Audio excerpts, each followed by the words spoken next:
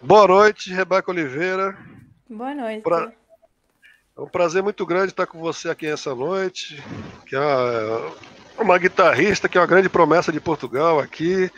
Teve grandes pedidos de, de pessoas né, importantes, a Maria Lívia pediu, teve outras pessoas que pediram né, a sua entrevista.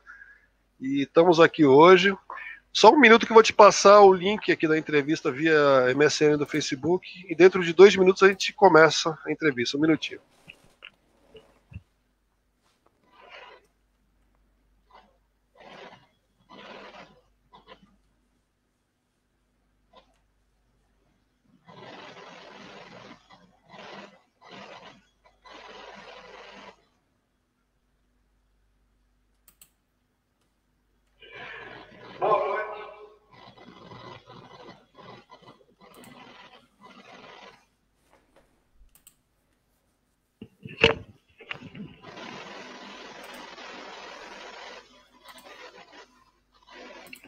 Já te enviei, viu, Rebeca?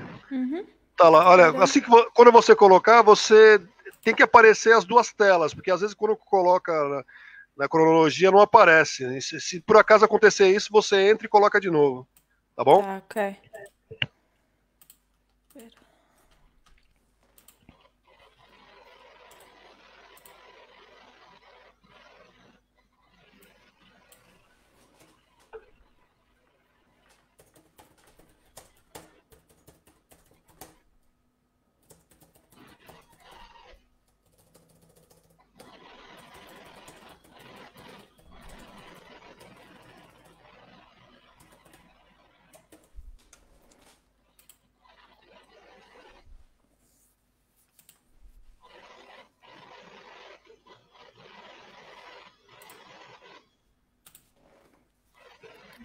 isto já está. E agora falta a página de artista.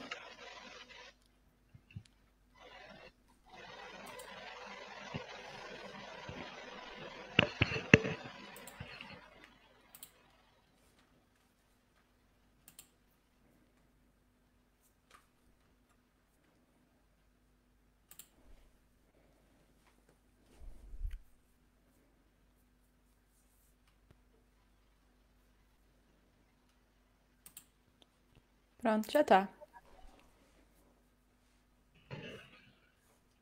É, já temos pessoas aqui o suficiente para começar a live tranquilo, tranquilamente. É, bem, antes de começar, eu queria agradecer você, Rebeca Oliveira, que já conheço há algum tempo, né, desde a época de Espanha, e está com a gente aqui contribuindo, contribuindo né, falando sobre sua experiência, sobre a sua trajetória, né, falando um pouco sobre o Seixas, né, que, que é um compositor que você tem feito um trabalho magnífico né, sobre ele, né, as transcrições, e falar também da Alemanha, né, que você conseguiu um espaço né, bastante legal, né, como professora, como concertista também. Então é isso, olha, muito obrigado por estar com a gente hoje. Obrigada eu pelo convite. Bem, olha, para começar a entrevista, eu queria que você falasse um pouco sobre o seu início com a guitarra, né? como, como, como surgiu o interesse pelo instrumento, falar sobre os seus primeiros professores, né, que você teve, falar como que foi, como era o ambiente também lá na, na Ilha da Madeira, que você é original da Ilha da Madeira, não é isso? Uhum. E na época, quem eram suas referências, né? Quem foi a pessoa que você comprou o primeiro CD na época e escutou? Ou que pelo menos né, copiou, ou alguém te enviou o áudio. Uhum. Um, bem, o meu início com a guitarra foi muito curto. Eu comecei já na guitarra um, um bocadinho tarde, ou mais tarde do que normalmente se começa no conservatório. Um, o primeiro contacto com a guitarra foi tocar acordes, ter uma banda com os amigos, foi assim tudo muito pouco clássico e académico, por assim dizer. Até que quando estava no nono ano, uh, sempre gostei muito de, de, música e sempre gostei muito das artes em geral. Quando estava no nono ano, fizeram uma apresentação na escola onde eu estudava sobre os cursos profissionais do Conservatório. E, e, pronto, isso, o Conservatório da Madeira faz isso regularmente, pelo menos fazia, não sei se ainda continua a fazer. Um, e acho que foi a partir desse momento que eu me apercebi que, que podia realmente estudar música de uma maneira mais séria e provavelmente seguir música num nível profissional. E foi a partir desse momento então que começou a aventura toda. Eu tinha 14 anos na altura, mais ou menos, estava, estava a, a acabar o nono ano. Um, decidi ir para o conservatório. Um, foi um bocadinho complicado porque eu nunca, nunca tinha tido aulas no conservatório. Um, sabia ler partituras, sabia ler notas, tinha aprendido um bocadinho na, na, escola, mas, mas não a nível de conservatório, não sabia quase nada de teoria musical. Portanto, fiz um ano uh, de conservatório uh, com o meu primeiro professor, que foi o professor Pedro Zamora, uh, bastante intensivo, onde estudei muito, estudei muito a parte também de, de formação musical, de, de, de, análise, toda essa parte uh, necessária também para, para, para, fazer as provas de acesso ao, ao, ao, curso profissional. E passado um ano entrei no curso profissional uh, de instrumentista. O curso profissional equivale, portanto, ao décimo, décimo primeiro, décimo segundo ano.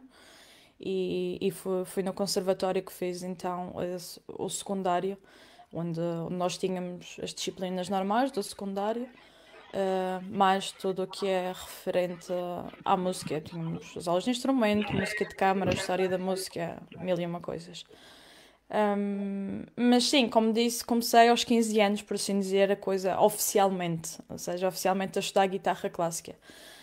Um, foram três anos bastante cansativos, porque, porque porque tive sempre que estudar muito e tentar acompanhar o ritmo, porque no fundo os três, o curso profissional equivale aos últimos três anos de conservatório, sétimo, sétimo e oitavo grau, para depois também conseguir fazer provas de acesso ao superior, mas, mas tive muita sorte com o professor, uh, com o professor Pedro Zamora, ajudou-me muito, eu tive professores muito bons, a Madeira hum, tem professores excelentes, e acho que o curso profissional está tá em si muito bem estruturado, dava-nos uma bagagem muito boa para o superior.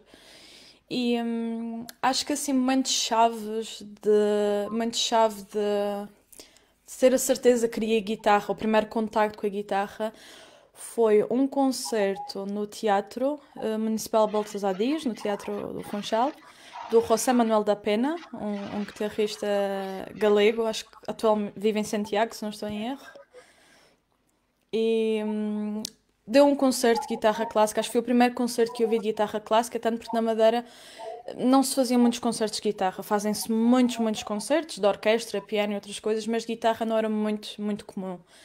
E um, o José Manuel da Pena tocou, se não estou em erro, Albenis e Platero eu, do Castelo Novo Tedesco, e foi a primeira vez que eu vi realmente uma guitarra clássica em concerto, e foi assim uma coisa totalmente fora de série para mim. Foi, foi algo que me impactou bastante. Um, e acho que foi assim nos momentos chaves de, nos momentos chave de, de, de, do meu início com a guitarra. Outro momento que também me marcou bastante foi um concerto do Pedro Joia com a Orquestra Clássica da Madeira. Também foi uma coisa assim incrível. E quanto às primeiras referências, aos primeiros CDs de guitarra clássica, acho que continua a ser uma das minhas maiores referências, se não a maior, o David Russell. Sempre foi alguém que, que desde o início chamou muita atenção e continua a ser um dos meus guitarristas favoritos. Você não chegou a, a, ouvir nessa época o Segovia, os nossos avós, você não chegou a ouvir? Cheguei a ouvir um bocadinho mais tarde, uh, ou seja, quando, quando já estava no curso profissional, claro, uh, o Julian Brim, John Williams, o Segovia, toda, toda essa geração uh, de guitarristas e continuo a ouvir, porque há coisas que ninguém bate o, o Julian Brim a tocar determinado repertório, ou Segovia, ou, ou John Williams, são, são personalidades muito importantes da guitarra e acho que nunca vão ser ultrapassados.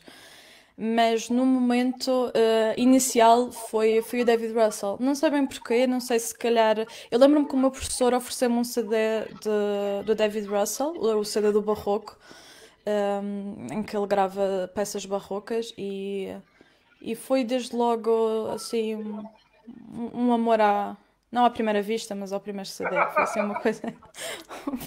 Sim, foi uma, uma ligação instantânea. Fantástico, fantástico. Você falou do Manuel da Pré, ele vai estar com a gente, dia 15, Sábado ele vai estar numa entrevista aqui para a página Violão e Violão. Né? As pessoas que estão assistindo estão convidadas para assistir José Manuel da Pena, um grande guitarrista galego, né, que mora em Santiago, acho Santiago de Compostela. Isso, isso. Agora também tem um estúdio, né? Uhum, Muita sim. gente grava com ele, né? Fazendo um trabalho de alto nível, né, com o estúdio também. Bem, vamos falar agora dessa parte, né? Você, né, estudou na Madeira, tal, concluiu, né, o curso secundário, né, o profissional, vamos dizer assim, Uhum. que nem você mesmo falou. E você se preparou, né, para ir para a universidade. Agora tem duas perguntas, né? Você teve algum outro professor fora da Madeira, assim, fora dos professores que você teve na Madeira, que também te ajudou a te preparar para ir para a universidade? E quais foram as universidades que você prestou e por que, que você esco- escolheu Vigo? Hum. Um, a preparação para o superior foi eh, maioritariamente o meu professor, do, que era o meu professor do curso, o meu professor de guitarra, o Pedro Zamora. Um, claro que os restantes professores de, de guitarra do conservatório ajudaram sempre, não é? Temos o professor Luciano Lombardi, o professor eh, Fernando, tínhamos o professor Ba- Barnett também, que entretanto saí, mas que, que não foram diretamente meus professores de instrumento, mas, mas de alguma maneira estávamos sempre em contacto, ou por, pelas audições, pelos exames, havia sempre feedback. Um, Outra parte importante foi também eh, o conservatório na altura eh, organizava as Semanas da Música Um, e na altura tive a oportunidade de fazer três semanas da música, que eram uma espécie de, de estágios intensivos. Na altura eram feitas através de masterclasses, pessoas convidados. E o Augusto Pacheco uh, foi à Madeira três, três vezes e também, também foi bastante bom para mim, porque foi a primeira vez que eu tive contato com um professor sem ser o meu professor, ou seja, com, com um outro guitarrista. Hum, sim, acho que foi maioritariamente esses dois professores. Tive também aulas particulares uma vez antes de concorrer ao superior com o Dejan Ivanovic. Um, fui a Lisboa de propósito ter aulas com ele. Um, foi um abrir de olhos totalmente. E acho que se não tivesse ido a essas aulas e não tivesse tido essas aulas particulares com o DN, se calhar a coisa não tinha corrido tão bem, porque foi realmente um abrir de olhos e, e ajudou-me a concentrar no, no que eu precisava e no que eu tinha de melhorar para conseguir realmente entrar no superior. Quanto ao superior, eu concorri a duas universidades na altura, concorri a Évora e concorri a Vigo. Um, na altura era também um bocadinho difícil para mim saber uh, quais as universidades e quais os professores que, que melhor se adaptavam, não é? Porque acho que isso é, é a desvantagem de viver numa ilha. Um, é um bocadinho mais difícil para, para conhecermos outras pessoas, outras realidades, fazer concursos, esse tipo de, de atividade uh, é um bocadinho mais complicado. Então, na altura também era um bocadinho complicado para mim saber onde concorrer. Mas, mas, mas fui a Évora porque, porque conhecia o Dayan e porque uma professora aconselhou-me logo de início. E Vigo foi uma casualidade da vida. Foi, eu não conhecia a Margarita inicialmente.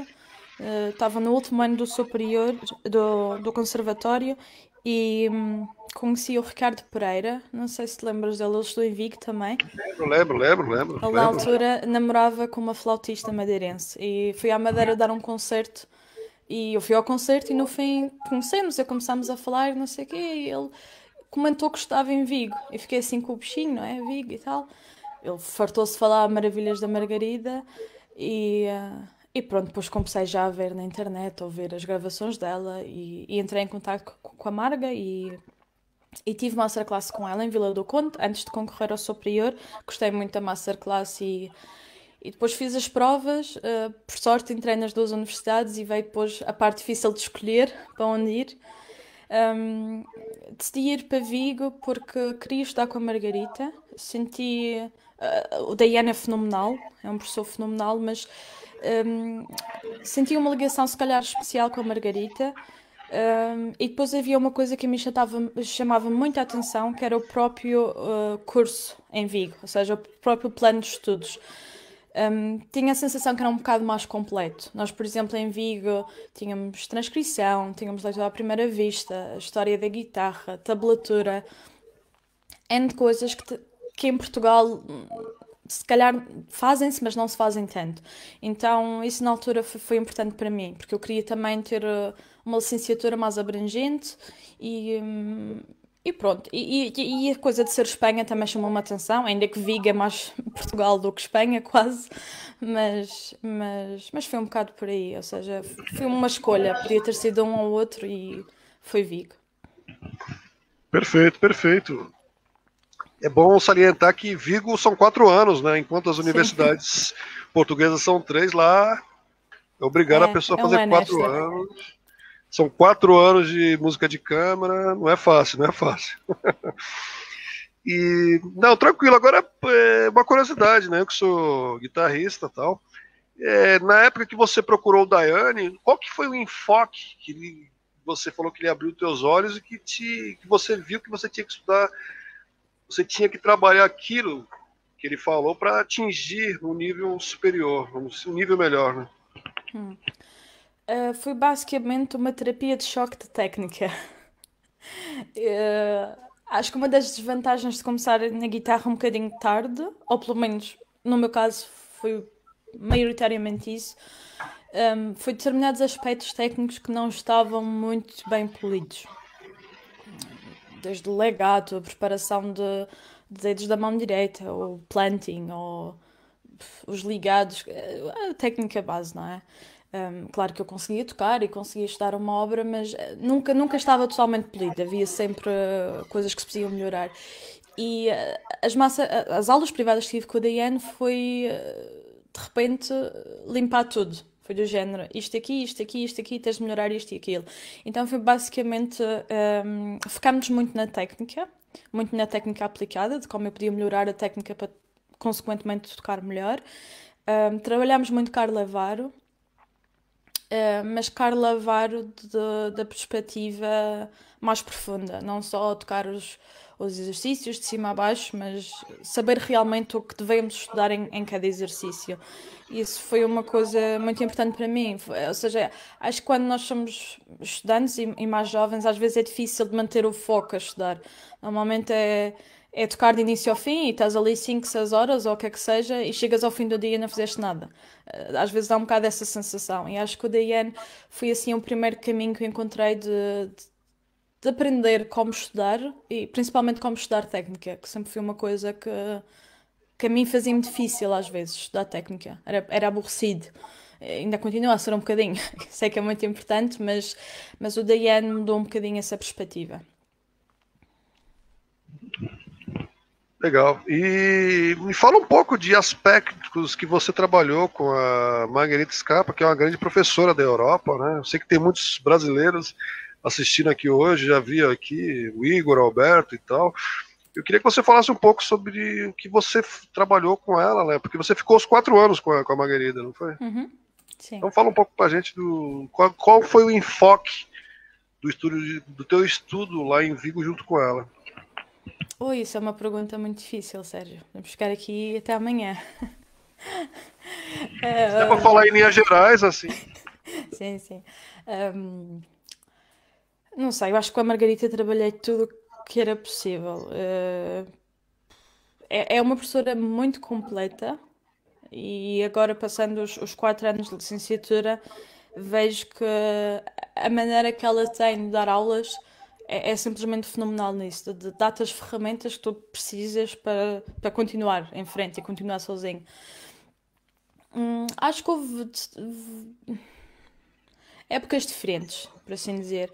Um, o primeiro ano foi um bocadinho mais de legato, legato, legato, legato, constantemente. A Margarita, toda a gente que ouve a Margarita sabe que é, é uma guitarrista muito limpa a tocar, muito elegante, que cuida muito do detalhe. E um, no primeiro ano trabalhei muito técnica de mão esquerda, preparação de dedos, este tipo de coisas assim, um bocado também a, veia, não é? Do David Russell. Um, portanto, acho que se focou mais por aí. Um, depois, sei que uh, no fim, por exemplo, da licenciatura, já fui mais a parte de tocar limpo, de saber interpretar corretamente, ou pelo menos as bases, as regras básicas, por exemplo, para interpretar uma peça barroca ou para interpretar uma peça clássica ou o que quer que seja. Um, Acho que a Margarita, eu nem sequer consigo enumerar as coisas que, te- que trabalhei com ela, porque foi, ou seja, não há uma coisa que eu, que eu me lembre e consiga dizer que não fez com a Margarita. Acho que, claro que mais umas coisas do que outras, mas, mas a, Marga- a Margarita nisso é uma, é uma professora espetacular e, e acho que saí de lá com uma base muito, muito boa. Ahm, mas sim, acho que o que mais trabalhámos foi efetivamente o legato, preparação de dedos, ah, limpeza a tocar o som. Eh, é algo que a Margarita, a Margarita tem um som fenomenal e a qualidade do som foi, foi uma coisa que tive também muito tempo a trabalhar. Ahm, e sim, acho, acho que foi isso. Perfeito, perfeito. Já deu para entender né, o enfoque. E depois disso, né, acabou a Espanha, né, se formou tudo, você conseguiu a classificação máxima, né? Fala um pouco como que foi o teu concerto final. Uf, foi um dia de muito stress, mas acabou por correr bem. Ahm, pronto, nós em Vigo temos de tocar eh, 50 minutos, se não estou em erro, ou 45 minutos, temos fazer um concerto final e temos de fazer a apresentação do trabalho fim de carreira. Eh, portanto, temos de escrever um trabalho final de licenciatura e apresentá-lo. E lembro-me que eu tive a apresentação do trabalho e logo depois o concerto, tive as duas coisas no mesmo dia. Portanto, foi assim um dia em grande. Eh, lembro-me que estava bastante nervosa, eh, estava num estado também muito emocional, não é? Porque estava a acabar uma época, eh, era uma altura importante, depois há aquela, aquela história de saber que depois já, já vais para outro sítio, já vais começar uma coisa diferente. Ahm, mas, mas, mas correu tudo bem, ou seja, felizmente correu tudo bem, tanto que consegui muito boa qualificação, não é? Fiquei muito contente com isso, claro. Ahm, sim, lembro-me que toquei, toquei repertório que já estava a trabalhar há algum tempo, claro. Ahm, o último ano, os últimos dois anos da licenciatura, toquei muito, ahm, muito em concursos. Uh, fiz muitos concursos, festivais, masterclasses, fartei-me de fazer masterclasses. Um, então cheguei a um ponto em que já tinha um repertório muito bem estudado e, e ajudou-me, portanto, a controlar uh, os nervos e aquele, pronto, o nervosinho, não é, de palco, uh, no concerto final. Ma- Mas fiquei muito satisfeita com, com o resultado, claro, fiquei muito satisfeita. Um, fiquei contente por acabar com a nota que acabei. Também fiquei triste ao mesmo tempo porque estava a acabar, não era? Mas, mas tenho, tenho boas recordações. Perfeito. E o mestrado na Alemanha que você vai fazer com o Thomas Muller, é, conta muita gente lá se decidiu, alguns foram para o Pelogaro, né, pro Pegoraro, Pegoraro, Uhum. Paulo Pegoraro. Outros, né, cada um foi para um lado, né? E como que você se decidiu ir lá para para Alemanha? Uhum. Uh, para a Alemanha, quando, quando estava a acabar a licenciatura em Vigo, uh, já tinha claro que queria fazer mestrado uh, de performance. Ou seja, havia a opção de regressar para Portugal e fazer um mestrado em pedagogia, não é? Ensino de música, uh, ou performance também. Uh, ainda que em Portugal o que se pede normalmente para dar aulas e para trabalhar é um mestrado em ensino de música, e havia a opção de ainda ir mais para fora e, e continuar a estudar uh, performance, que foi, foi o, que eu, o que eu decidi fazer e o que eu queria fazer na altura. Um, concorri a várias universidades, concorri em Maastricht com o Marchioni, com o Carlo Marchioni, uh, concorri cá em Weimar com o Thomas e um, concorri em Graz com o Pegoraro. Em Graz não cheguei a fazer a prova porque era a última prova, mas, mas também era uma das minhas opções. Um, entrei em Maastricht e, e em Weimar e um, a partir do momento em que entrei em Weimar eh, já sabia que queria vir para cá. Eh, eu conheci o Thomas antes de fazer provas, eh, fiz uma masterclass com ele em, em Zaragoza, sim, em Zaragoza, e, eh, e, e gostei logo de início, mas, adorei a... O Thomas é uma pessoa muito muito correta, ou seja, é é muito fácil de, de trabalhar com o Thomas e acho que para aquele momento da minha vida era o que eu, que eu precisava. Ou seja, eu tenho a sensação que o meu mestrado com o Thomas não foi para nada como a minha licenciatura, que se calhar foi sempre constante aprendizagem e constante luta e não sei o quê. O mestrado com o Thomas foi então um bocado mais consolidar tudo o que eu já sabia e encontrar-me um bocado mais a mim própria como, como artista e como guitarrista, polir um bocadinho mais o tipo de guitarrista que eu queria ser. Um, e sim, claro, tal como foi para Vigo, para Weimar foi a mesma história, foi, foi principalmente pelo professor. Depois, outro factor que pesou muito na decisão foi também o país para o qual eu vinha. Porque na altura em que eu passei, eu acho que a partir do momento em que uma pessoa decide fazer uma estada em performance, quase que já está a fechar uma porta em Portugal e, e ao dar aulas em Portugal. A não ser que, claro, queira fazer uma mestrado e depois regressar e fazer outro mestrado. Um, eu, na altura que decidi para vir para a Alemanha, já estava um bocado com a ideia de provavelmente ficar por cá a trabalhar depois do mestrado, e isso também foi um fator importante. Um, sabia que havia o problema do idioma, tinha de aprender a falar alemão, Uh, mas também sabia que é um país onde, onde, há muitas oportunidades. Oportunidades tanto de concertos, como de apoio às artes, como apoio à cultura, como oportunidades de tocar, mas também uh, oportunidades profissionais, não é? Vagas em escolas de música, em conservatórios. Então foi a escolha do professor, mas também já um bocadinho a perspectiva profissional um, que fizeram com que eu viesse para a Alemanha. Perfeito, perfeito.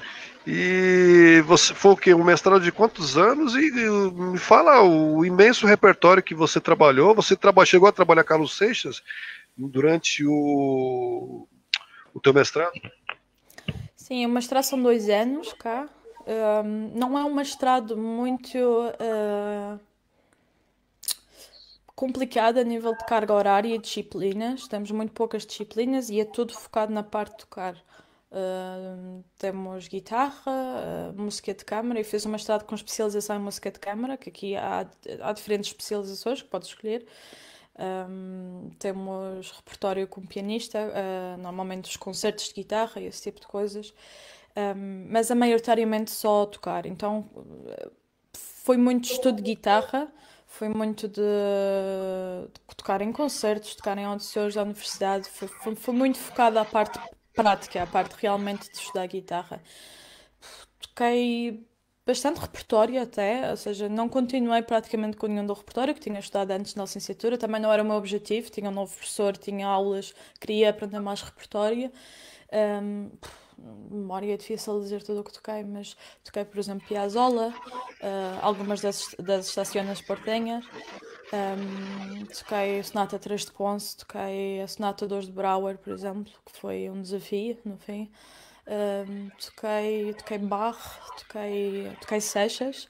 Ainda que a história do Carlos Seixas já começou em Vigo, começou com a Margarita, no meu terceiro ano de licenciatura, mas depois fui fazendo novas transcrições e fui, fui tocando outras sonatas. E, e cá em Weimar continuei também a tocar, a tocar as sonatas que já tocava e, e novas sonatas. E hum, não sei, não me lembro assim mais do que é que eu toquei, sinceramente, mas toquei os concertos, que é concerto de Aranjuez, concerto de Vila Lobos, hum, mas, mas pronto, foi, foi assim bastante música de câmara também, fiz música de câmara com quarteto, com duo, uh, de guitarras, um, fiz também com flauta, Uh, mas foi assim bastante intensivo de, de, muito repertório, de muita guitarra e muito estudo da guitarra. Perfeito. E você tinha algum amigo contigo que foi de Portugal para aí ou estava sozinho o tempo inteiro? Não, eu vim para cá com o Hugo Ferreira, que é o meu namorado uhum. também, também é guitarrista, e nós começamos o, o mestrado os dois ao mesmo tempo. Um, ela, para além do Hugo, acho que não, não conhecíamos mais ninguém de cá, não é? Uh, mas, mas, é uma classe muito grande, a classe de guitarra é enorme, porque temos três professores cá na universidade, temos o Thomas, o Ricardo Galhen, também dá cá aulas, e a Cristiane Spanov, são os três professores. E, então a classe de guitarra é enorme, ou seja, quando eu, quando eu vim para cá, sair de Vigo para vir para cá, a, a nível de número de alunos é, é, incrível. Nós éramos, não sei quantos, mas 30 e muitos, ou uma coisa assim. Uh, e havia gente de todos os cantos do mundo. Nós tínhamos colegas da Coreia, de temos colegas da China, da República Checa, de Colômbia, todo o sítio. Ou seja, nesse sentido foi. Claro que inicialmente é um bocadinho complicado, porque nós, pronto, não conhecíamos ninguém, mas depois o ambiente era muito bom. O ambiente entre, entre os próprios alunos de guitarra era muito bom e foi muito fácil conhecer pessoas e, pronto, e travar amizades. Que legal, que legal. Bem, ah, eu queria que você falasse agora sobre o ciclo, né? Carlos Seixas For Guitar, né? Hum. Falar das suas transcrições, né? E também da, da editora, né? Que você editou também, né? As, as suas trans, transcrições. Hum. Sim, a história de Carlos Seixas já começou, tal como disse, quando estava no terceiro ano da licenciatura, ainda estava em Vigo, nós tínhamos uma disciplina chamada transcrição, onde aprendíamos, eh, era, era dada pela, pela Marga, e onde aprendíamos a transcrever para a guitarra, não é? No fundo. Um, e foi um bocado aí que nasceu o bichinho da transcrição. É? Lembro-me que nós transcrevemos uh, Scarlatti, algumas coisinhas de Mozart, uh, Albéniz, e depois, pronto, depois veio a história do Seixas e, e nasceu a ideia realmente por preguiça, porque eu tinha um concurso em Portugal onde tinha de tocar uma peça portuguesa e duas ou três semanas depois tinha um concurso em Espanha onde tinha de tocar uma peça barroca. Então pensei, hm, vou encontrar um compositor português do barroco e assim posso tocar a mesma peça nos dois concursos. Então foi um bocadinho assim que nasceu a história do Carlos Seixas. Um, já conhecia o compositor, claro, já conhecia o, o Carlos Seixas, mas, mas depois comecei a ouvir as suas obras com mais atenção e, e, e gostei muito. Acho, acho que é realmente uma mais-valia da música portuguesa, sem dúvida, e, e acho que funciona muito bem na guitarra, tal como Scarlatti funciona muito bem na guitarra, este tipo de, de repertório para cravo costuma funcionar bastante bem na guitarra. Um, a primeira transcrição que fiz foi a Sonata 23, depois foi a Sonata 24 e depois fui sempre, fui sempre continuando com as transcrições. Claro que nem tudo funciona na guitarra, não é? Há muitas coisas, há muitas sonatas que começa a transcrever e estou muito entusiasmada e estou desejando tocar, mas depois uma pessoa chega à conclusão de que, que o resultado final não é bom. Ou seja, pode-se tocar na guitarra, mas ou é porque é muito tecnicamente difícil, ou porque, porque a sonoridade, ou pela textura da sonata, ou quer que seja, às vezes é preciso saber quando deixar ir uma sonata. Um, e pronto, e tem sido um bocado assim, tem sido um bocado pela, pela minha preferência pessoal, pelas sonatas que eu gosto, mas também ver o que realmente funciona uh, no instrumento ou não. Uh, a história de, de publicar as sonatas eu comecei a tocar, eh, fiz as transcrições e toquei simplesmente porque queria tocar. Um, toquei em vários concursos, em masterclasses, nas provas ao superior e comecei a ver que havia muitas pessoas interessadas nas sonatas. Havia muitas pessoas que gostavam da música, gostavam da ideia de, de haver um compositor novo para guitarra, um compositor que não se tocava. Um, havia também pessoas que diziam que era, que era como um Scarlatti, mas mais triste, mais português, mais melancólico. Um, e pronto, e depois chegou um momento em que eu também queria partilhar as, as, as transcrições com quem te queria tocar, claro, mas também queria fazer uma coisa bem feita e ter as coisas todas como deve ser. Uh, e decidi, pronto, uh, contactar várias editoras. Um, na altura, duas editoras uh, mostraram-se interessadas: a Les Productions 12, que é a editora com quem, com quem eu publico, um, e a Ava também, a editora portuguesa. Um, acabei por, por, escolher a Produções DOS uh, simplesmente pela difusão que, que, podia ter. Ou seja, acho que é um, uma editora um bocadinho maior, tem, tem também a Doberman, também faz parte das Produções DOS. E, um, e pronto, e começou assim, começou, com, publiquei as primeiras duas e de momento já tenho quatro livros, ou seja, oito transcrições publicadas. Mas, mas, mas tem sido uma experiência muito boa. Perfeito, né? Eu acho que cada vez mais está sendo divulgado, né? Os compositores portugueses, né? Fico contente. Você chegou a gravar alguns vídeos pelas Cicas, né? Uhum, Tocando, né? Seixas, né? Tá, foi muito bem divulgado os vídeos, né?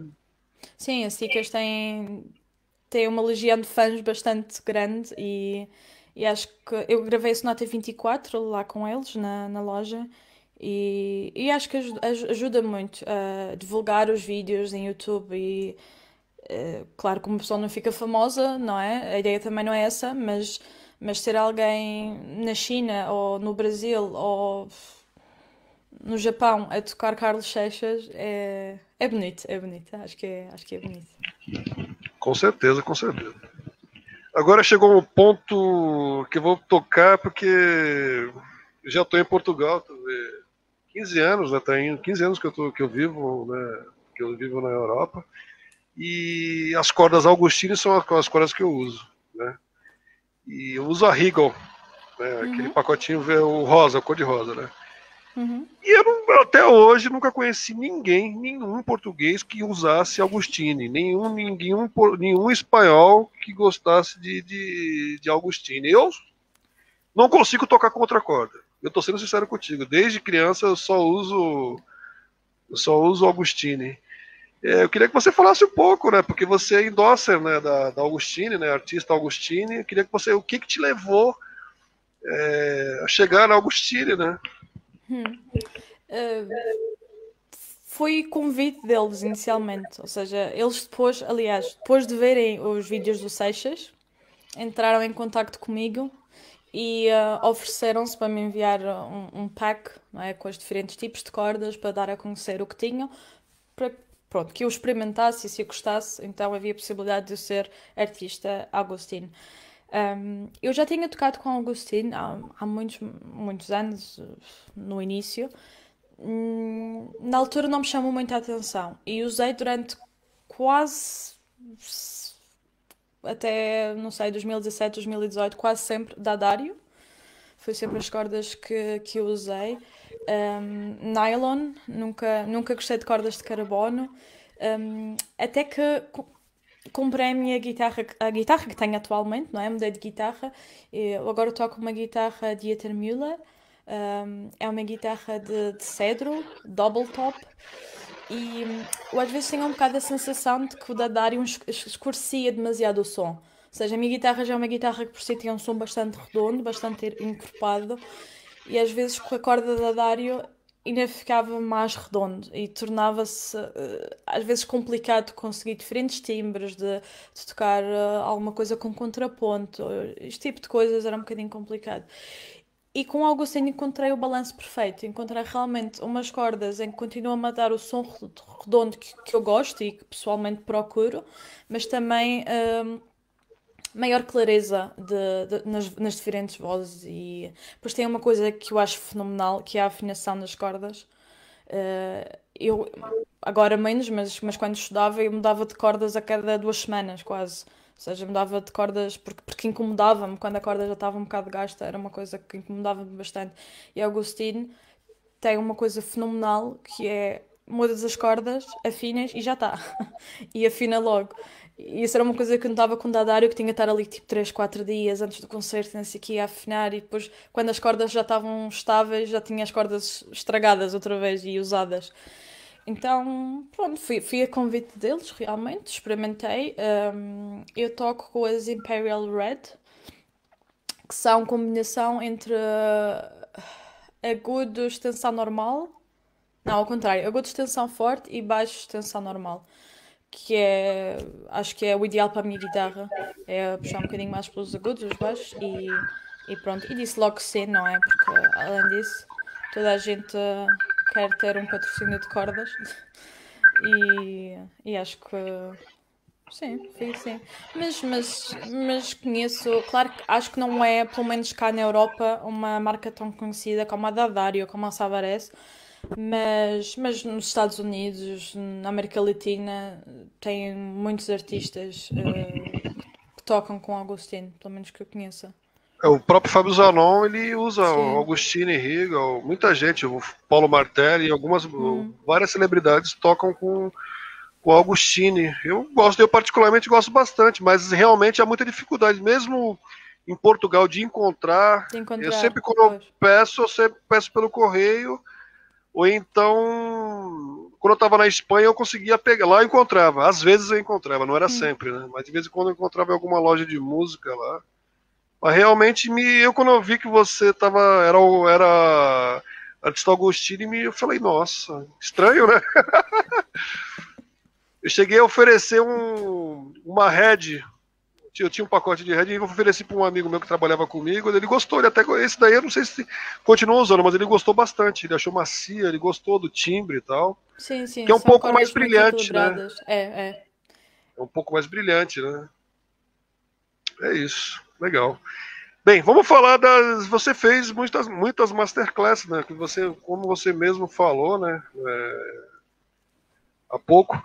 Eu queria que você falasse das masterclasses com quem você fez e qual a que mais te marcou, assim.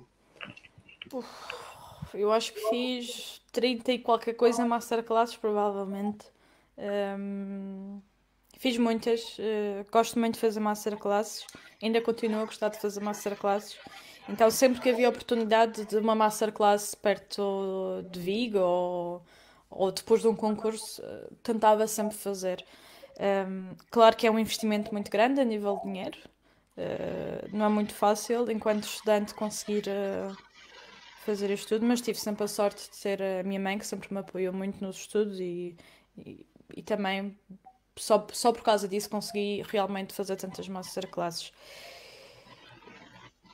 Fiz masterclasses com o Thomas, com o Pegoraro, Uh, fiz muitas também em Vigo, que organizava muito através do Erasmus. Cheguei muitos a fazer em Vigo, uh, com Martin Dilla, com o Alex Garrobé, Pedro Mateu, muitas pessoas espanhóis, uh, o, o Alcel, o Roberto Alcel,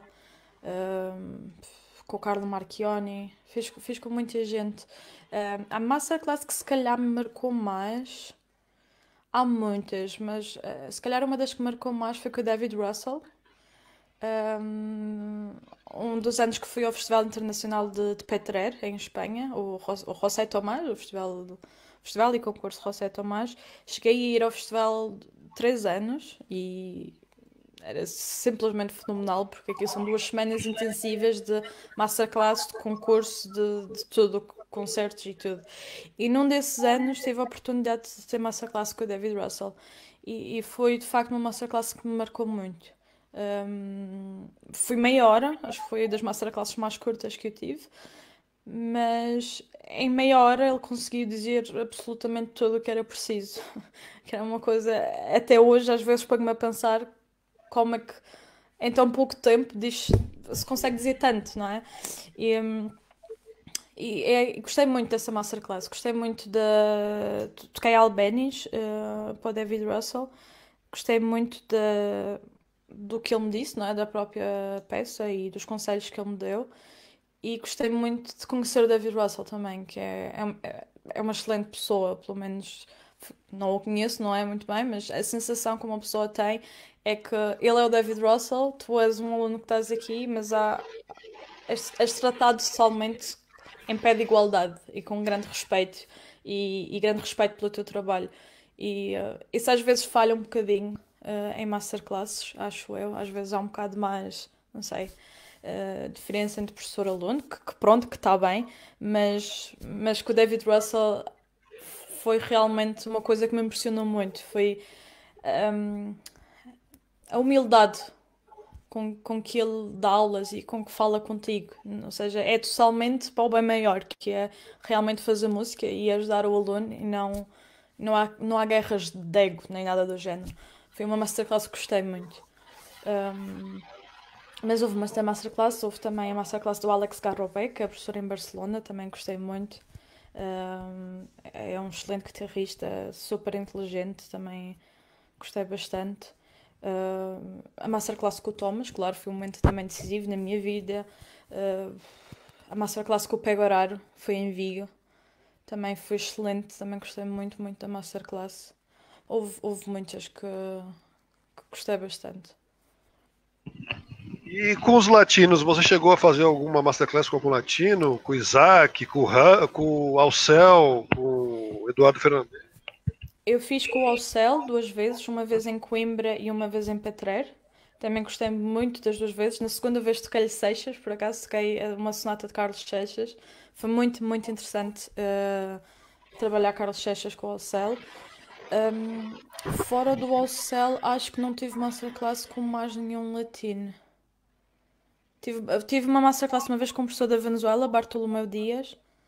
Um, mas que me esteja a lembrar, eu acho que não.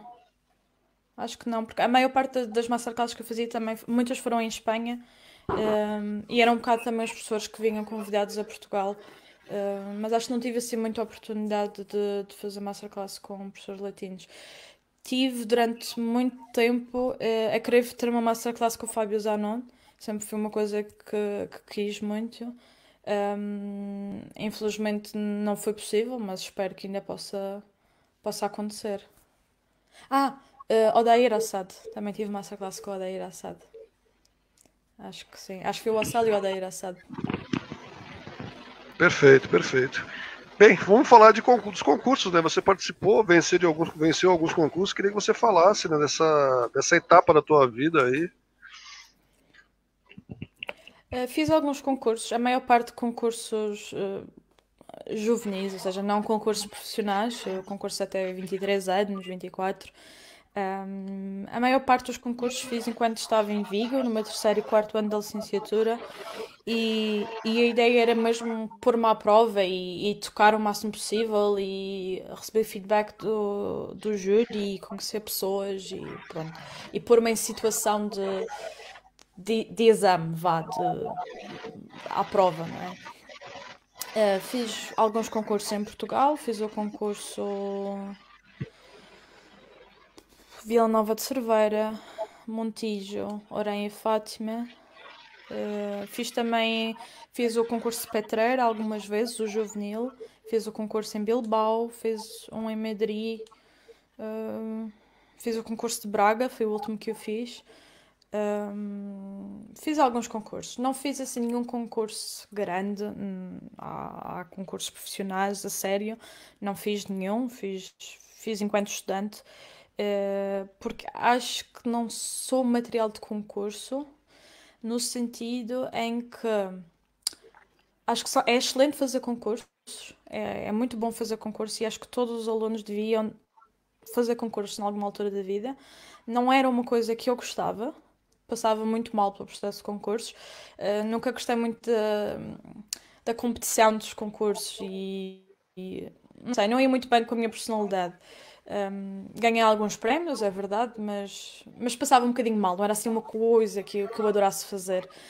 E, um, e pronto, chegou uma altura em que eu decidi que, que se calhar não, não, queria, não queria fazer mais, não, não queria continuar a, a expor esse tipo de situação, queria experimentar outras coisas, por exemplo, as transcrições, ou gravar CDs, ou diferentes coisas. coisa, um, mas mas sim, acho, acho que é preciso ser uh, um determinado tipo de guitarrista para para aguentar também a pedalada que é os concursos, que é o ler o repertório muito rápido, é tocar sem falhas, teres uma técnica totalmente impecável. Eu acho que, claro, como toda a gente tem qualidades e defeitos, mas acho que hum, não me enquadrava muito bem no, no mundo dos concursos talvez só pelo simples facto de que sofria incrivelmente, ficava muito nervosa e era, era realmente doloroso. Um, mas, mas, mas gostei, gostei muito da experiência dos concursos. Acho que é muito importante, acho que é mesmo muito importante. Um, e quem gosta deve sempre continuar a fazer. Acho que não, não há idade para parar de fazer concursos. Com certeza que eles criaram também um estereótipo né, de, de guitarrista para concurso. Eles criaram um modelo que a pessoa não, não pode falhar em nada, tem que ser muito perfeito, coisa que antigamente não era tão valorizado, e hoje, hoje em dia é. E a pessoa, para fazer esse tipo de, de, de, de, carreira através de concurso, tem que ter um domínio emocional muito grande, né? Hum, sim, acho muito... que isso é. Um, não sei se é o fator mais importante, claro que o fator mais importante é tocar bem. Não vamos estar aqui com histórias, tem, tem de tocar bem, tem de ser, tem de ser uh, impressionante. Uh, e tem de ser um guitarrista que chama atenção desde o primeiro momento ao, ao último. Tem de ser uma coisa realmente impressionante. Mas, mas acho que sim, eu acho que há pessoas que, que realmente hum, não são feitas, mas adaptam-se muito bem à, à, história de fazer concursos, porque, têm nervos de ferro, para começar, ou de aço, ou de sei lá o quê, que, que acordam, vão tocar e já está, e voltam e pronto. E hum, eu sentia que passava, era, era muito doloroso o processo, e acho que às vezes também não vale a pena, porque Claro que os concursos têm muitos, muitos aspectos positivos, mas o que uma pessoa acaba por ter em retorno também, se às vezes envolve tanto sofrimento e tanto. Não sei, tanto stress, tanta agonia. Uh, acho que chegou a um ponto que já não estava. Ou seja, o, o que eu recebi em troca já não estava a compensar o esforço que eu tinha de, de pôr, não é? O, yeah, a, dedicação, a dedicação e o esforço e o stress. Uh, sim, acho que foi um bocadinho isso. Legal. Bem, olha, o Pedro Zamora tá, colocou aqui que o Bartolomé Dias foi aluno de Lauro da minha época.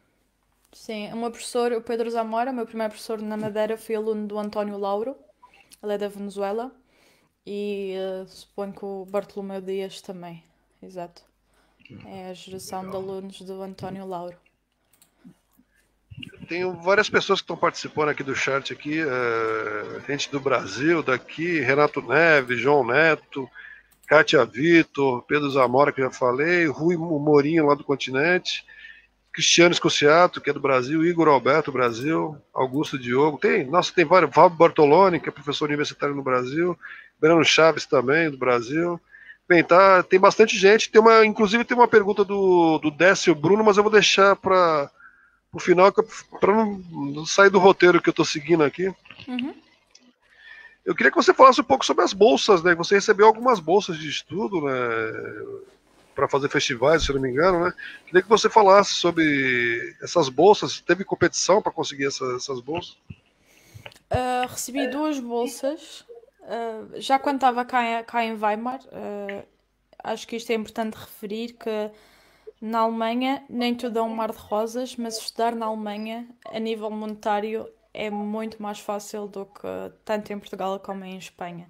No sentido em que não se paga a universidade, há muito apoio, há, tens residências, tens, tens cantinas, tens tudo. Ou seja, é muito fácil vir cá como estudante. E há também muitas bolsas de estudo. Um, eu consegui duas bolsas, uma delas foi, foi logo no meu primeiro ano cá. Um, foi uma bolsa de três meses, não fui assim nada de, outro mundo, mas, mas pronto, sempre foi uma ajuda. E essa bolsa foi. Uh, não houve prova, foi no fundo uh, através do currículo artístico e, e, um bocadinho do teu perfil. Ou seja, tinhas que mandar uma carta de motivação, carta de motivação dos professores e um bocadinho pelo, pelo currículo e pelo que tinhas feito, davam-te a bolsa ou não. A segunda bolsa que eu recebi foi no meu último ano do, do mestrado, foi a Charlotte Krupp. Um, foi uma bolsa muito importante e muito boa, ajudou-me muito economicamente no meu último ano. Um, e aí sim tive que fazer a prova. Aí é uma prova até bastante difícil, porque é com todos os instrumentos. Primeiro tens uma fase pré-eliminatória em que tens de mandar o teu currículo, uh, e independentemente do teu currículo não, convidam-te para, para a prova, não é? Para, para, para a audição. E depois tens uma entrevista com um monte de professores, o diretor da universidade e um professor quase de cada instrumento, e tens que tocar um, 15, 20 minutos, se não, não estou em erro, um, e depois, pronto, depois esperar até que, que decida, não é? Que é o mais difícil. Mas, mas fiquei muito contente, realmente. Concorri um bocado na desportiva, porque o meu professor meio que insistia que eu concorrisse, porque eu não tinha esperança nenhuma, porque, quer dizer, a universidade aqui tem um nível incrível de, de, de alunos, não é? Não só, não só em guitarra, que o nível é muito bom, mas, mas piano, violoncelo, uma coisa excepcional. E hum, acho que nós, como guitarristas, ou pelo menos falo por mim, é sempre um bocadinho assustador quando temos que concorrer com outros instrumentos. É muito difícil de comparar a guitarra a um piano, por exemplo pelo menos para alguém não guitarrista. E, uh, e tinha um bocadinho de receio, mas, mas pronto, fui fazer a prova, convidaram-me para ir tocar, um, toquei. Um, correu bastante bem até, fiz a entrevista, uh, foram mais ou menos 15 minutos de entrevista, me perguntam um bocadinho o que é que eu fiz, quais são as perspectivas para o futuro. Falei do projeto Seixas, mostraram-se bastante interessados também na parte das transcrições e tudo, e consegui a bolsa. Foi uma bolsa durante um ano uh, 12 meses um, no meu último ano do, do mestrado. Perfeito. Agora vamos chegar no álbum, né? No álbum Ilha da Madeira, né? Que é com compositores né, da Ilha da Madeira. Conta pra gente como surgiu a ideia e como que foi? Os autores te procuraram já há algum tempo? Conta pra gente como foi todo o processo. Um, o álbum foi gravado em outubro de 2020. Um, foi a convite do, do Conservatório, uh, o Conservatório da Madeira, onde eu estudei, onde come começaram. Um, o Dr. Paulo Esteireiro falou diretamente comigo e convidou-me para gravar uh, um, um álbum a solo é uma nova coleção de CDs que se chama Novos Talentos e onde a ideia é um bocadinho um, dar a conhecer os alunos do conservatório, ou seja, alunos que, que, estudaram no conservatório e que entretanto continuaram as suas vidas profissionalmente e, uh, e foi aí que surgiu o convite, foi através do Dr. Paulo Esteireiro, ele entrou em contato comigo, por acaso no meu dia de anos, foi um bom presente de anos, um, e surgiu a ideia de gravar um, um CD totalmente livre, ou seja, não havia repertório obrigatório. Uh, era bom se eu pudesse incluir, claro, algumas, alguma obra de um compositor madeirense, porque a ideia também é, é dar um bocado a conhecer a música madeirense e o que se faz na Madeira. Um, não é só de compositores madeirenses. Tenho uma obra de um compositor, duas obras de dos compositores madeirenses, mas é maioritariamente uh, repertório variado. Gravei, por exemplo, uh, duas peças de um compositor espanhol que se chama Juan Arena. São duas peças que me foram dedicadas: El Llanto de las Flores e outra, Luz de Funchal. Uh, gravei as, as, duas obras porque, porque, pronto, porque foram dedicadas a mim, são peças que eu gosto muito e que queria gravar.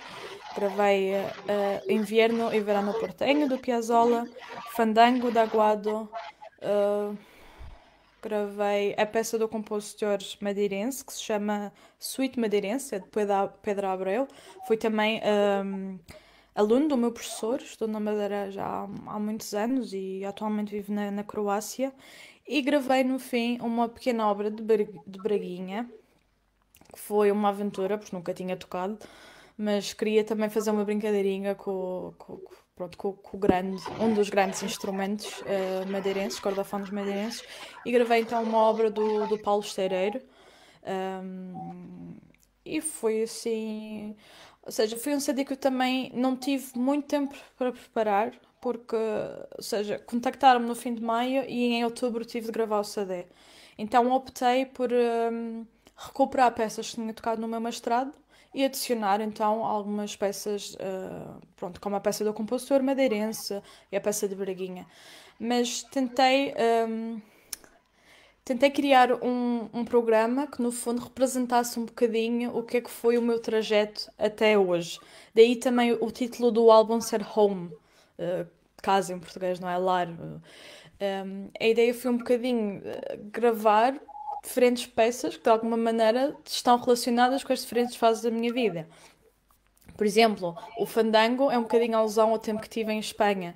Uh, a suíte madeirense, porque eu sou da Madeira, não é? É uma, é, é uma peça fenomenal uh, com, com, com temas do folclore madeirense. Um, a peça de Braguinha também, porque pronto, porque, porque é um instrumento madeirense. Um, as duas peças que me foram dedicadas, uma delas chama-se Luz de Funchal, é a primeira obra do álbum. Gravei, claro, uma sonata de Carlos Seixas. Não queria gravar um álbum completo de Carlos Seixas, porque isso era um projeto que tenho para o futuro, mas, mas gravei uma sonata de Carlos Seixas. Então foi um bocadinho assim, um, uma mistura de de repertório que eu realmente gosto de tocar, que já tinha trabalhado, mas também um bocadinho de, de dar a conhecer o, a cultura madeirense. E, um, e foi gravado em outubro, foi financiado pelo Governo Regional e pela Secretaria da, do Turismo e da Cultura e foi publicado em janeiro deste ano, em 2021, é bastante recente. Pena que foi a meio da pandemia. uh, foi um bocado difícil de promover eh, o álbum, de, dar concertos e esse tipo de coisas, mas talvez no verão. Espero ainda poder fazer um concerto de apresentação como deve ser e, e, eh, e pronto, dar um bocadinho a conhecer o álbum. Isso, então fala um pouco sobre o trabalho de música de câmara aí na Alemanha também que você tem feito. Um, como disse, toquei na, licenciatura tive muita música de câmara, toquei com quarteto de guitarras, um, uh, duo de guitarras, também fiz bastantes coisas. Toquei bastante também com, com o Hugo, com o Hugo Ferreira, também tocámos em duo uh, várias vezes. De momento, este ano tenho um duo com a guitarrista Carmen Standler. Um, vamos fazer quatro concertos uh, a duo, um, dois deles online. Seja, a ideia é um bocado também, é um projeto um bocado de cariz social e, e, e de gravar dois concertos online para, para lares de idosos que nesta altura, pronto, estão bastante isolados com a história da pandemia, então é um projeto também um bocado de cariz social e, e por aí fora. A ideia é fazermos quatro repertórios diferentes. Os dois primeiros vão ser gravados para poder um, mandar a todos os, os lares de idosos de cada região e esperamos que os últimos dois possam ser já ao vivo. Está planeado para depois do verão, vamos ver, dependendo da pandemia, o que é que vai acontecer. Um, fora isso, fiz também durante muito tempo, ainda faço às vezes quando há oportunidade, um duo de guitarra e flauta com uma colega minha, uma colega e amiga minha madeirense, a Joana Mendes. Tocámos algumas vezes na Madeira também. Um, mas pronto, claro que é um bocadinho complicado quando, quando estamos em sítios diferentes, não é? Um, mas sempre que há oportunidade, uh, tocamos juntas na Madeira e e pronto. Mas de momento uh, tenho tocado mais com um duo de guitarras, tanto com o Hugo como com a, com a Carmen. Legal, que legal. E quais as guitarras que você já teve né, no decorrer da tua vida e qual que você está utilizando agora, ultimamente? Você gravou o teu CD com essa guitarra nova? Ou já hum. ou não? Já, sim, né? sim, sim. Uh, eu tive poucas guitarras na minha vida. É, é um, um hobby muito caro ter guitarras, portanto não houve muitas mudanças. Uh, a primeira guitarra que eu tive foi uma guitarra de um luthier da Venezuela, Ramon Blanco. Um, usei essa guitarra no segundo e terceiro ano dos meus cursos profissionais e também uh, em metade, metade, da minha licenciatura, a maior parte da minha licenciatura. Uh, muito bom instrumento, uh, adorei essa guitarra infelizmente chegou a altura, infelizmente, infelizmente, não é? Chegou a altura em que, como estudante, uma pessoa sente a necessidade de, de, de evoluir um bocadinho, não é? A nível de qualidade de som, de, de facilidade a tocar e todas essas coisas. E, e foi então quando comprei a guitarra que tenho atualmente. Comprei em 2016, se não estou em erro, no verão de 2016 ou 2017, se calhar. E é uma guitarra de um, de um, de um luthier alemão, Dieter Müller. Hum, é double top, ou seja, segue um bocado a vertente Daman, não é? A construção desenvolvida por Daman. Aliás, Dieter Müller foi aprendiz do Daman, ou seja, aprendeu uh, com ele. Um, sinceramente nunca tinha ouvido falar do luthier nem da guitarra antes de experimentar a guitarra. Ou seja, quando decidi comprar a, a guitarra, fui a, a Madrid, às guitarras de luthier, à loja, e experimentei um, tudo o que havia para lá para experimentar, não é? Dentro do, do meu orçamento, claro. E, e gostei muito daquela guitarra. Foi, foi logo, ou seja, tive muito claro que era aquela guitarra que eu queria. Um, houve dois fatores muito importantes. O primeiro ponto era o, o, som, ou seja, a qualidade do som. Queria uma guitarra com muito corpo, com som redondo um, e conseguia essa guitarra com projeção, pronto, tipo de uma double top, não é? E é extremamente fácil tocar. Uh, acho que nunca toquei numa guitarra tão fácil como, como a que eu tenho, e uh, o que é muito bom. Eu tenho, tenho uma mão muito pequenita então ajuda quando uma pessoa tem uma guitarra um bocadinho mais fácil de tocar. É uma guitarra grande, mas é muito fácil de pisar e muito fácil de tocar. Então, sim, tem sido essa guitarra que eu continuo a usar. Eu gravei, eu gravei o, meu, o meu álbum com essa guitarra e todos os vídeos e coisas que tenho feito, concertos. Um, toco, toco sempre com, com essa guitarra. Você comprou na Casa Luthier ou comprou diretamente com o Luthier? Não, eu comprei na Casa Luthier, comprei em, em Madrid. Um, até porque na altura era um bocadinho complicado, eu ainda não estava na Alemanha a estudar, uh, ainda estava em Vigo, foi antes do meu último ano em Vigo. e um, os preços na casa luthier não eram nada exagerados em comparação ao preço do luthier. Às vezes acontece isso em determinadas lojas, que a diferença é, é brutal, mas a diferença era, era mínima. E, e pronto, e vinha com, com garantia de um ano, não é? E, e era bastante mais fácil para mim. Uh, fui a Madrid duas, duas, vezes, duas ou três vezes. Um, eles, eles recebem não sei se continuam a receber, mas na altura recebiam acho que quatro guitarras do Dieter Müller, porque ele tem uma espécie de parceria com a loja. Então todos os anos recebiam guitarras do luthier e, e quando receberam uma guitarra nova, fiquei em lista de espera e quando receberam a guitarra nova, pronto, fui lá experimentar e, e pronto. E trouxe já a guitarra comigo. É essa, falou é essa. Tranquilo. E esse luthier ele parou de fazer, né? Ele já não, já não tá fazendo mais, né? Já ouvi falar que. Não, o Dieter Miller continua a construir. Uh, não sei se ele continua, se calhar, a vender pelos mesmos distribuidores, mas ele continua a construir.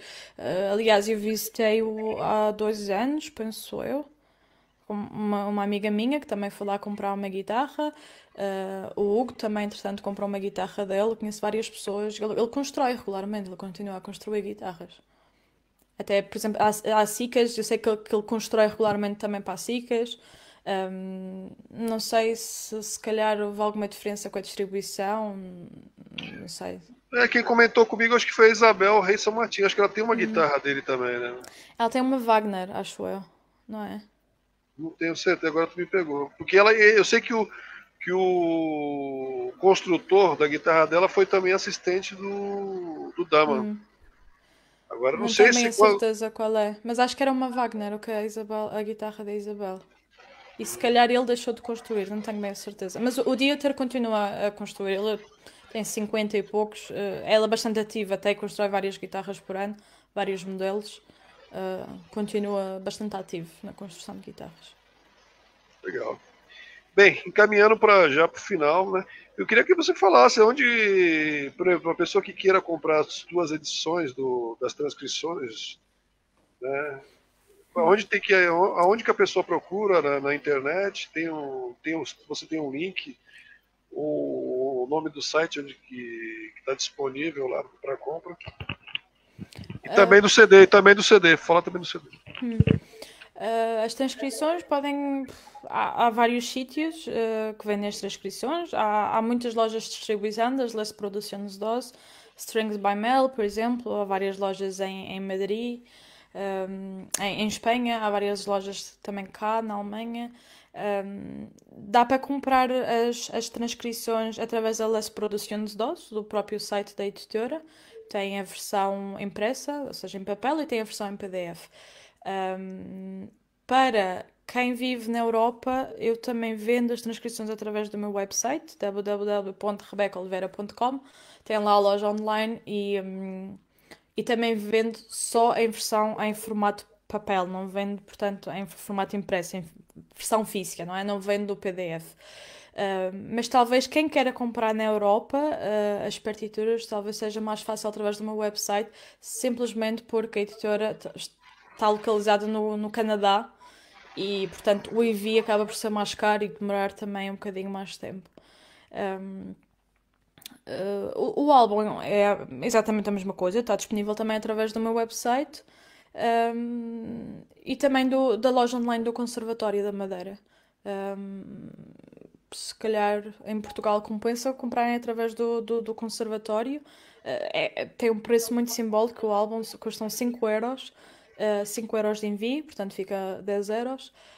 Um, e podem comprar através do, do site do conservatório, da loja online. Basta escrever conservatório uh, www.lojaconservatório.pt e aí tem já todos os álbuns, todos os CDs que foram, foram publicados através do conservatório e o meu uh, aparece logo lá. Mas, como disse, tanto nestes sítios como também uh, através do meu do meu website ou podem simplesmente mandar-me mensagens pelas redes sociais. Eu sou bastante ativa nas redes sociais, tenho Facebook, Instagram, essas coisas todas. Uh, é bastante fácil. Mas posso colar o link também nos comentários, talvez. Um, pronto, já houve aqui o Rui Mourinho que colocou isto tudo. Muito obrigada, Rui. Sonatas, né? Das sonatas. Os quatro livros, né? Os quatro livros. Exato. Fantástico. Obrigado, Rui Morinho. E vou fazer agora a pergunta do Décio Bruno, né?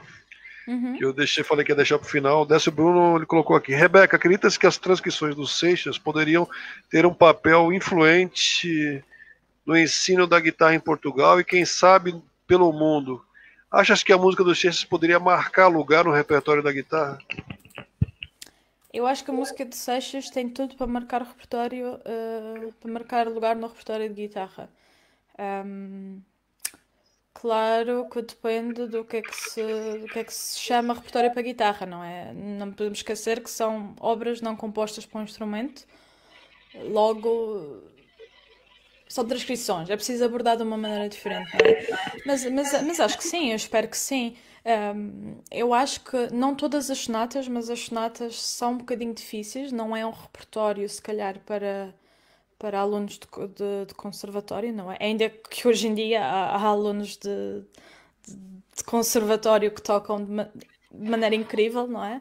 Mas, um, mas eu espero que sim. Eu sei, por exemplo, de alguns alunos que em Portugal uh, que já tocaram as sonatas em, em concursos, pelo menos. Uh, uh, e que trabalharam com os professores. Também tenho al alguns uh, guitarristas portugueses que me compram as, as transcrições. Uh, já conheci também pessoas cá na Alemanha a tocar, a tocar seixas em, em concursos também, em concertos fim de mestrado, fim de licenciatura. Portanto, acho que tem tudo para, para, para fazer parte do repertório de guitarra. Espero, espero eu que sim, não é? Porque acho que, que é sempre uma mais-valia. Uma pessoa pode gostar mais ou menos do repertório ou da transcrição ou da maneira de tocar ou o que é que seja, mas acho que o que é importante é haver muita coisa. É importante haver opções, haver uh, uh, nova música para o instrumento, é importante haver diferentes transcrições. Há também várias transcrições de Carlos Seixas, já foi feito. se não estou em erro, o Pedro Ribeiro Rodrigues, que é um guitarrista que viveu muito tempo na Croácia, vai publicar agora as suas próprias transcrições de Carlos Seixas. Ele também transcreveu muito Carlos Seixas e gravou um CD em 2010 só com a, com a obra de Carlos Seixas. Um, há, há, há, muita gente que já, que, já, que já fez, já publicou Carlos Seixas. E, um, e acho que sim, acho que, acho que pode fazer parte de, do repertório. Já não me lembro bem qual era a pergunta, acho que fugi um bocado da pergunta, mas. Não, não, não tá dentro. Tá tudo dentro, tá, tá tudo, tudo, dentro. Com certeza. Bem, agora a pergunta clichê, a última pergunta é a pergunta. Quais são os seus planos futuros? Oi, os planos futuros. É depois da pandemia, depois da pandemia. depois da pandemia. Eu, eu espero voltar a tocar ao vivo, primeiro ponto, porque realmente não, não dou um concerto já há algum tempo. Desde que começou a pandemia, foi tudo cancelado. Tinha na altura uh, vários projetos. Tinha, tinha um concerto a sala com a Orquestra Clássica da Madeira, que era uma coisa que me, me lesionava muito. E foi cancelado, infelizmente, por causa da pandemia. Espero que se possa fazer não é, no futuro. Um, de momento. Uh, tenho poucas coisas planeadas porque, porque não quero planear nada sem, sem a pandemia estar controlada, porque, porque dói na alma uma pessoa planear coisas, estudar e depois chega a hora e é cancelado. Um, mas tenho os quatro concertos de música de câmara com a guitarrista Carmen Standler, como disse, duo. Um, as transcrições do Seixas é para continuar. Tenho já mais duas no forno que vão ser publicadas entretanto. E acho que já se pode dizer, é uma novidade nova, mas, mas que me alegra muito. Em, em outubro vou gravar o meu segundo CD um, em Espanha, com o Javier Salvador, uh, o técnico uh, de som, e um, vai ser um CD só com as minhas transcrições de Carlos Seixas. E é um CD que estou há muito tempo, há muito tempo quero fazer. Tive muito tempo a tentar conseguir financiamento e a tentar fazer a coisa possível e agora vai ser finalmente, uh, espero eu, não é? Que, que, seja possível. Então a ideia é, é de facto gravar 50 minutos de, de Carlos Seixas para guitarra, das minhas próprias transcrições. Um, vai ser um concerto em parceria com o Movimento pela Música Portuguesa. Uh, vai ser uh, publicado um, através deles. E estou muito, muito entusiasmada com, com esse projeto. É um projeto que vai me tirar muito tempo, porque eh, é demoroso fazer transcrições, de estar estudar. Uh, depois uma pessoa estuda, depois já muda, depois é, é, é, é, não é propriamente muito fácil. Depois é um repertório difícil, há muitas das notas que são realmente difíceis para guitarra, mas, mas é um projeto que me apaixona muito e um, estou muito contente por fazê-lo. Espero, espero que corra tudo bem. Um, e como disse, a ideia também é uh, publicar todas as sonatas que vou gravar, não é? Neste momento já tenho oito sonatas publicadas. Uh, penso que, se não estou em erro, vou publicar mais quatro até o CD sair. Uh, mas acho que é esse o grande projeto para este ano. É realmente tornar o CD de Carlos Seixas possível e, um, e continuar com as transcrições. E depois logo se vê, não é? Vamos vendo. Isto Estou sempre aberta a novos projetos e sempre entusiasmada para o que possa vir, mas, mas de momento é isso. Legal, que legal, fantástico. Olha, queria mais uma vez agradecer você, Rebeca, que já é uma grande celebridade da guitarra. E que você precisar da página Violão e Violão, tá aí, uma página que já tem né, 8 mil, mais de 8 mil seguidores aí, pessoas da, da América do Sul, pessoas da Europa, e tá aí, batalhando, né? Uma plataforma que está aí. Você quiser divulgar qualquer coisa, o CD, qualquer coisa que você quiser, é só falar comigo aí que a gente divulga, coloca aí. O pessoal tá, tá sempre né, antenado o que está acontecendo. A gente deixa, tem um.